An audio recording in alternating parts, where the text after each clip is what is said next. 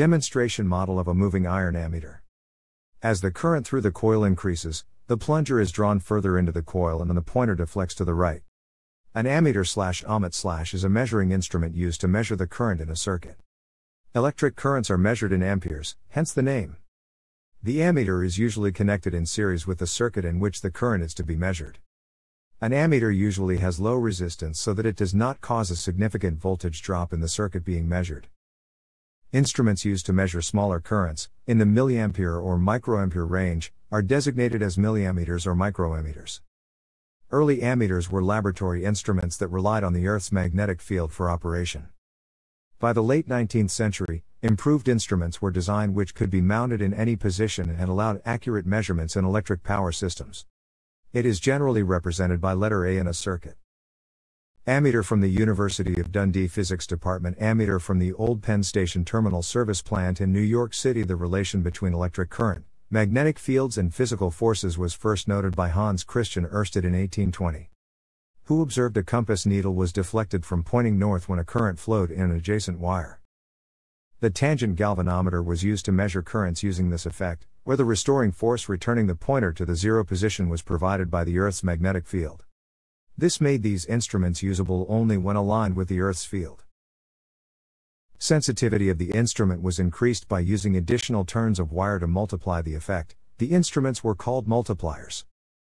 The word rheoscope as a detector of electrical currents was coined by Sir Charles Wheatstone about 1840 but is no longer used to describe electrical instruments. The word makeup is similar to that of rheostat, which was a device used to adjust the current in a circuit.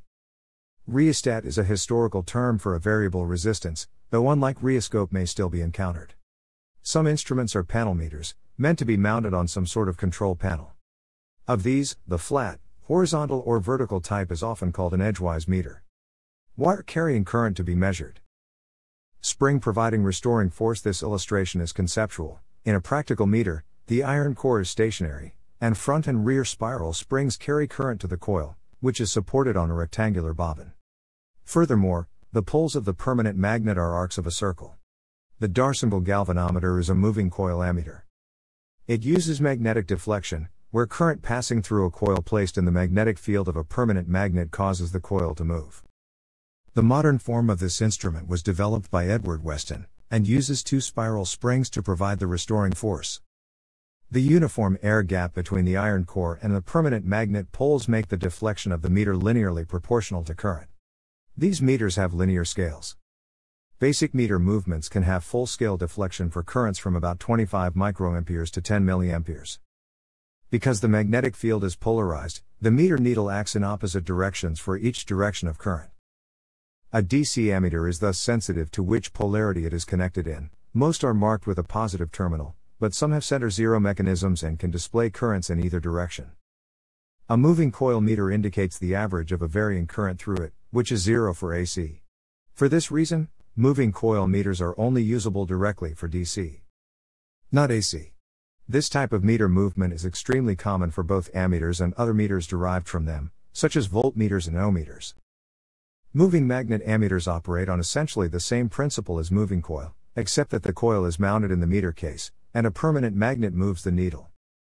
Moving magnet ammeters are able to carry larger currents than moving coil instruments, often several tens of amperes, because the coil can be made of thicker wire and the current does not have to be carried by the hairsprings. Indeed, some ammeters of this type do not have hairsprings at all, instead, using a fixed permanent magnet to provide the restoring force. An electrodynamic ammeter uses an electromagnet instead of the permanent magnet of the D'Arsonval movement. This instrument can respond to both alternating and direct current and also indicates true RMS for AC. See wattmeter for an alternative use for this instrument.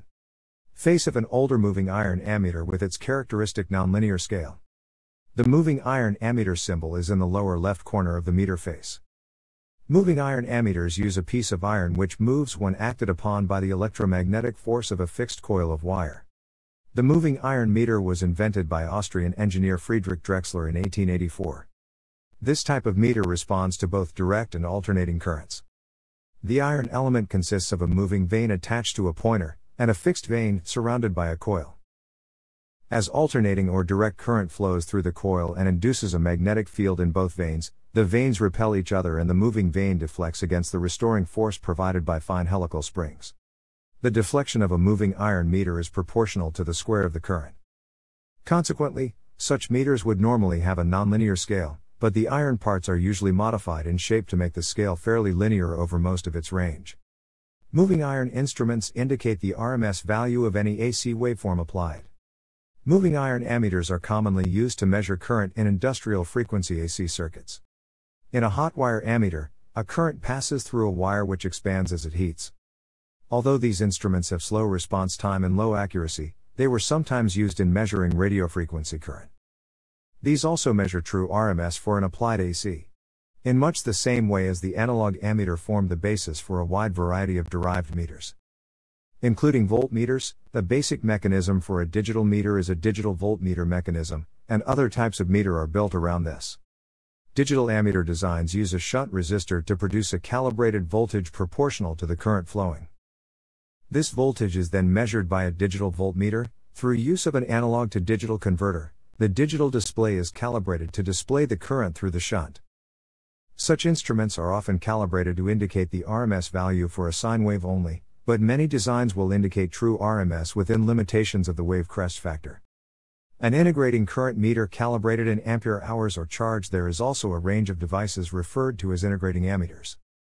In these ammeters the current is summed over time, giving as a result the product of current and time, which is proportional to the electrical charge transferred with that current. These can be used for metering energy or for estimating the charge of a battery or capacitor. A picoammeter, or picoammeter, measures very low electric current, usually from the picoampere range at the lower end to the milliampere range at the upper end. Picoammeters are used where the current being measured is below the limits of sensitivity of other devices, such as multimeters. Most picoammeters use a virtual short technique and have several different measurement ranges that must be switched between to cover multiple decades of measurement. Other modern picoammeters use log compression and a current sink method that eliminates range switching and associated voltage spikes. Special design and usage considerations must be observed in order to reduce leakage current, which may swamp measurements such as special insulators and driven shields. Triaxial cable is often used for probe connections. Ammeters must be connected in series with the circuit to be measured. For relatively small currents, an ammeter may pass the whole of the circuit current. For larger direct currents, a shunt resistor carries most of the circuit current and a small, accurately known fraction of the current passes through the meter movement. For alternating current circuits, a current transformer may be used to provide a convenient small current to drive an instrument, such as 1 or 5 amperes, while the primary current to be measured is much larger. The use of a shunt or current transformer also allows convenient location of the indicating meter without the need to run heavy circuit conductors up to the point of observation. In the case of alternating current, the use of a current transformer also isolates the meter from the high voltage of the primary circuit.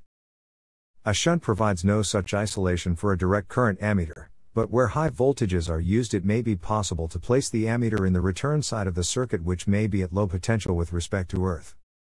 Ammeters must not be connected directly across a voltage source since their internal resistance is very low and excess current would flow. Ammeters are designed for a low voltage drop across their terminals, much less than 1 volt. The extra circuit losses produced by the ammeter are called its burden on the measured circuit.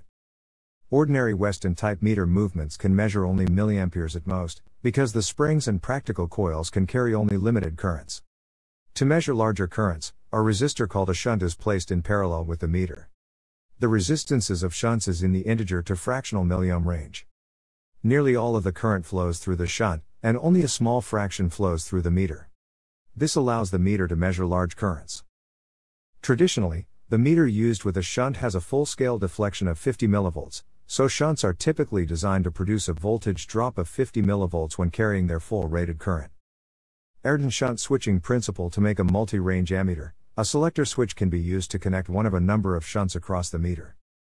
It must be a make before break switch to avoid damaging current surges through the meter movement when switching ranges. A better arrangement is the Ayrton shunt or universal shunt, invented by William E. Ayrton, which does not require a make before break switch. It also avoids any inaccuracy because of contact resistance.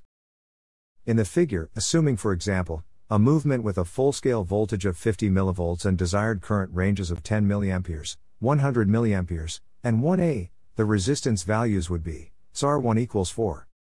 5 ohms, SAR2 equals 0. 45 ohm, SAR3 equals 0. 05 ohm. And if the movement resistance is 1000 ohms, for example, R1 must be adjusted to 4. 525 ohms. Switched shunts are rarely used for currents above 10 amperes. Zero center ammeter Zero center ammeters are used for applications requiring current to be measured with both polarities, common in scientific and industrial equipment.